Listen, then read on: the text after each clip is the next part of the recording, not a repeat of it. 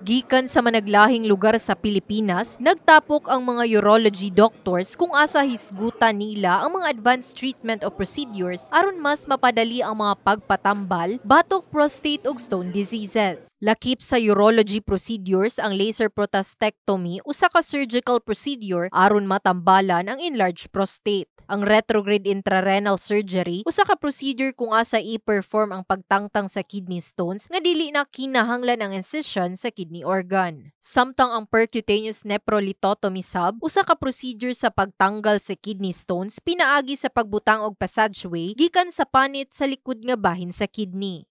As long as we have the equipment uh, to do this minimally invasive procedures, there's really no need for patients needing these urologic uh, interventions to go to the bigger cities like Metro Manila. This can easily be done here.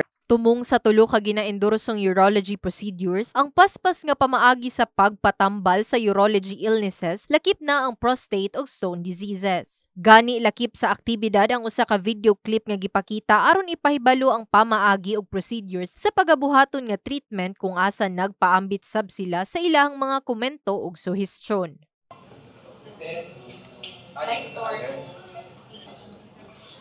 Uh, preferably, I, I love to use ka ng sensor guide war.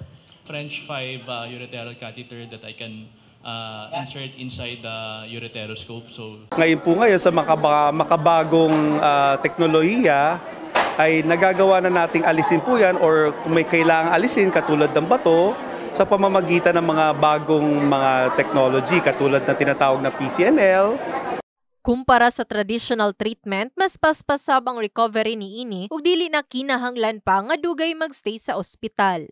Uh, when you do minimally invasive procedures, uh, the hospital stay of the patient is usually shorter and their recovery is faster. So they can, you know, return back to their normal lives and activities as soon as possible. Alang sa mga dunay prostate ug stone diseases, duna nay ospital sa Jansan kung asa nagapahigayon na sab sa tulo ka advanced urological procedure treatment. Kini si Liza Labajo para sa Brigada TV in the heart of changing lives.